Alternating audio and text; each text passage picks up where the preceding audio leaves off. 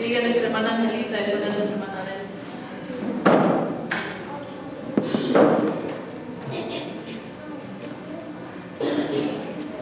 Dios le bendiga.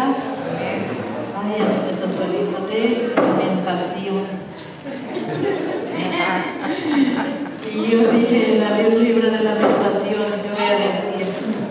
Bueno, pero el libro de lamentación, en verdad, de pie en medio de la ruina de Jerusalén y del templo, Jeremías lamenta la destrucción que él mismo había predicho.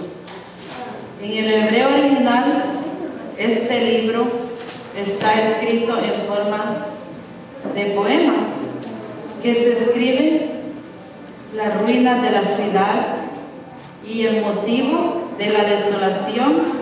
El libro ha sido llamado un cántico fúnebre sobre.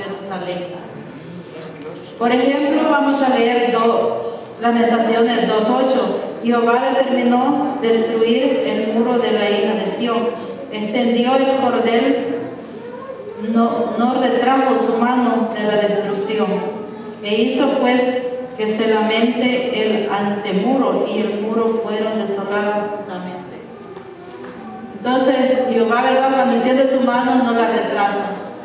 Él trae la destrucción, así como los tiempos que estamos viviendo ahora, ¿verdad? Son tiempos difíciles que le está tocando al mundo, ¿verdad? Que a muchos matadores, cuánta gente lamentándose en este tiempo, ¿verdad? Pero son cosas que van a suceder, como dice la palabra del Señor. Entonces, hay que estar atento a todo eso, ¿verdad? Pero no solo por eso lo pongamos triste, también Él nos da esperanza de liberación.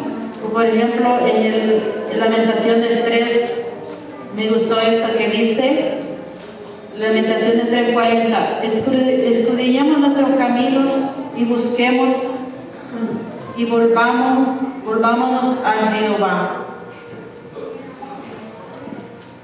Y eso nosotros tenemos que escudriñar nuestro camino, ¿verdad?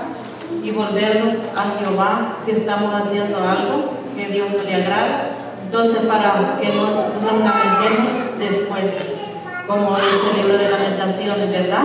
Dios nos habla, este, como dice también otro libro de allí, ¿verdad? Que Dios nos habla a tiempo, ¿verdad? Y fuera del tiempo estemos nosotros constantes siempre en la palabra del Señor. Y eso es lo, todo, ¿verdad? Aquí cierro con esto y pasa la hermana que sigue. Gloria a Dios, aleluya.